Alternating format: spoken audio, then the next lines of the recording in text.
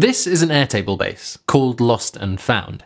It enables staff at live events to coordinate all the lost and found items across the site, connecting people with items that have been found and posting items that have been lost. With Glide, we can make an app with this data so that volunteers across the site can easily view and add new items with their phones, helping people find their items much quicker. Let's dig in. In Glide, we'll create a new app and pick our Airtable base as the source. We have two tables in this base, one for lost items and one for found. And Glide has made a tab for each of them. Let's change the icons to better match their names.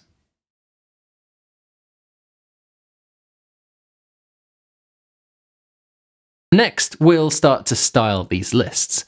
The first list is the lost items. This is where people post items that they've lost and leave their contact details, so if someone finds it, they can get in touch.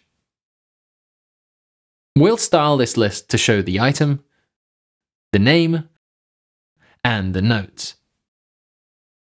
And we'll enable adding on this list so that volunteers can add new items easily. This is a form screen, which will add a new row to our table. Glide has added entry components to match the columns in our table, but we can customize this screen and the components on it however we like. For now, we'll just leave it as is, but we'll remove the returned field. We'll work with this value later. So let's add a new item to see if it's working. Great, let's click into this new one that we just created. This detail screen looks pretty good. Let's select the phone text and add an action to dial a phone number.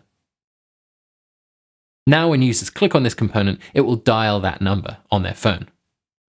The only thing that we need now is a way for people to mark whether this item has been returned or not. Let's add a switch component and connect it to the returned column. The switch component outputs either a true or false value. This is often represented in Airtable as a checkbox.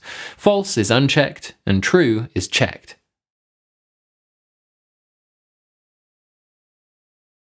Now, we can go back to our main list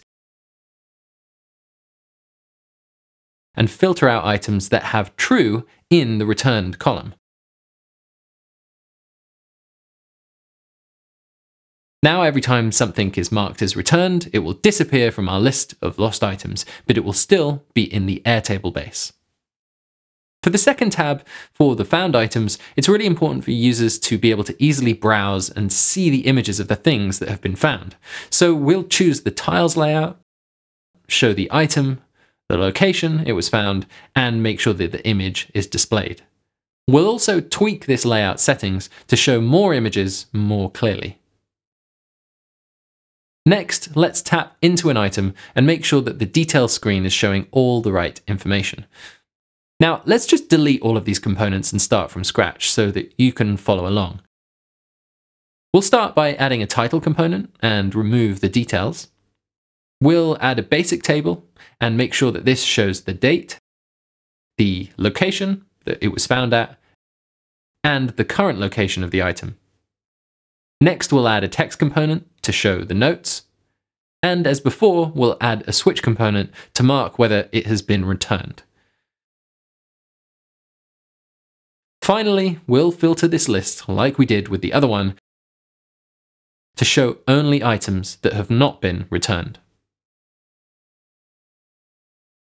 So that's it. If someone comes to the staff having lost something, they can open this app, search the list of found items, and if it hasn't been handed in yet, they can take their details and add it as a lost item.